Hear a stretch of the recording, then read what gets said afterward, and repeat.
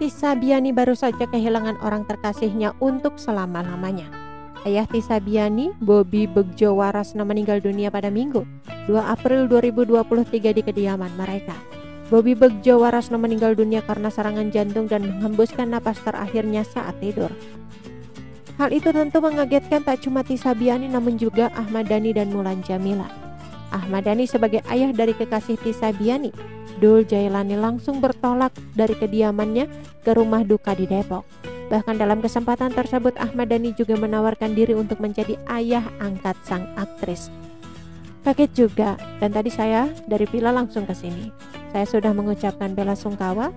Hal yang paling penting tadi saya bilang ke Tisa bahwa Tisa sekarang boleh menganggap saya sebagai ayahnya. Saya memberikan tawaran kepada Tisa sebagai ayah angkatnya kata Ahmad Dhani. Mulan Jamila pun tidak kalah. Ia tampak mengunggah potret sedang memeluk ibunda Tisabiani dan tak lupa pula menuliskan pesan haru teruntuk keluarga sang calon menantu.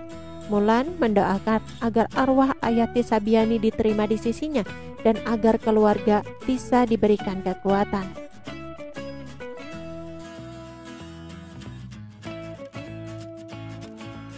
Oke teman-teman itu sedikit berita dari channel vlog berita sampai. Ketemu lagi di berita-berita selengkapnya. Assalamualaikum bye bye